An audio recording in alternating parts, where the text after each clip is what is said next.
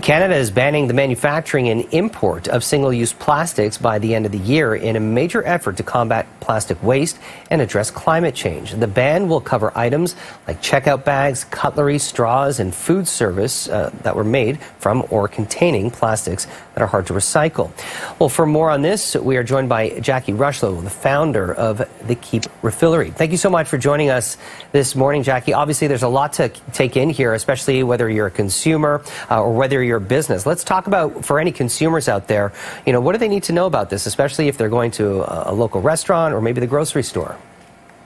For sure. Um, I mean, the good news, Jamie, is that there's a lot of alternatives already in play right now.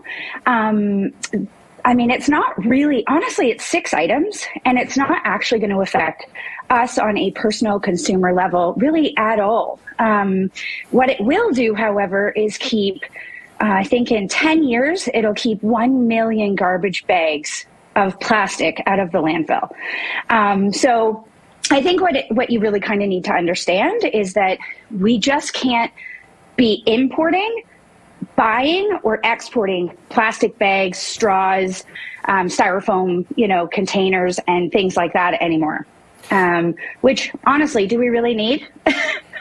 There, absolutely. I mean, we know that uh, you know single-use plastics are, are, contributing to you know filling those landfills, and all too often we see plastics uh, floating in our waters. Uh, but you know, if you're a business owner and you you rely on those things, you've been using them for many years. You know, what's the alternative for for the business owners, and is it going to cost them more money uh, to replace those single plastics with something else?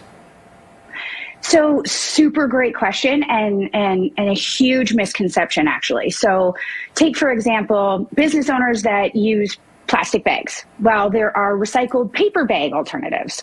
Um, you can also encourage your customers to bring their own bags, um, thus eliminating all of that waste.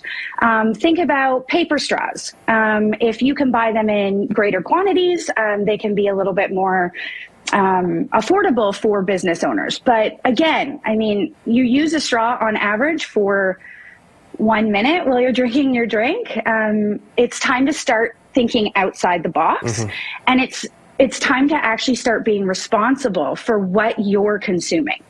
Oh, when it comes to you know taking this back to the business owner, if they've been purchasing these you know very inexpensive plastic forks and knives for their takeout, and they might have to replace it with something that uh, you know might be a recycled item that might be a little bit more expensive, wouldn't that cost get passed down to the consumer?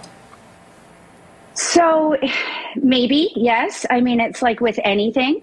The more common this way of life becomes, the more affordable it's going to be. Uh, this way, all of these different types of um, processes will be put into place to make these more accessible to the business owner.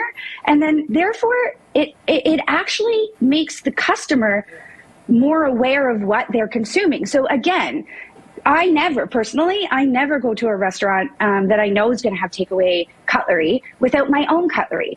So there's bamboo cutlery, there's wheat straw cutlery, there's you know people can bring their own cutlery. Period. Mm-hmm. There's so many different ways. I think Jamie, what it's time for is to start thinking differently. We need to change the way we consume everything, the way we purchase, the way we eat, the way we drink, everything. Jacquie Rushlow, founder of the Keep Refillery. We appreciate your time. Thank you so much for this chat.